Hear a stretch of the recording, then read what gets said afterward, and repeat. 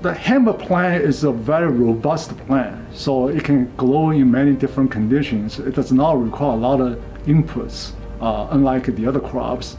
And uh, it's a high value crops uh, because you can utilize the fiber, which is very good fibers for textiles, for um, constructions, as well as the paper making. And it also has a seeds, which is a very good food products.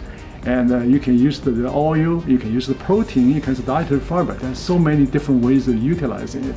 So if we can incorporate those um, materials into food products, it certainly benefits the consumer population. The, the seeds has a very good uh, amino acid and uh, has a good protein, 20% proteins, 30% oil.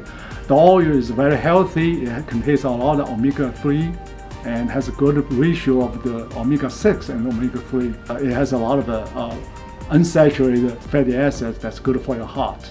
And uh, it also can lower your blood pressure. Uh, the, the, things that uh, uh, we want to fully utilize the, the hemp seeds. Uh, oil is, is good part of the, the hemp seeds, but uh, uh, there are other things that we want to utilize to maximize the benefits of the hemp seeds, uh, such as the proteins and the dietary fibers. They are all good and food ingredients that can be used for a lot of healthy foods. We are using cold press to basically squeeze out the oil from the seeds, similar to the uh, production of the olive oil. Uh, the reason we do that is that uh, cold press that you get the oil without introducing the solvent and without uh, introducing heating that will be detrimental to the oil quality. Uh, there's a couple of ways of use, uh, utilizing uh, hemp seeds. One is that use the whole grains, uh, the whole seeds.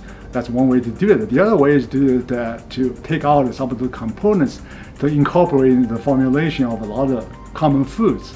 I think that the, the industry really does not have that kind of knowledge and it takes time, money to try some of those things that they may not willing to spend. What we will try to do is develop a technology to enable the industry to use those materials. And we want to figure out what is going to happen if you put those ingredients in the food formulation. For instance, bakery goods, uh, Cheetos, whatever it is that will cause that color changes, texture changes, or flavor changes. If that's the issue, so how are we going to solve that?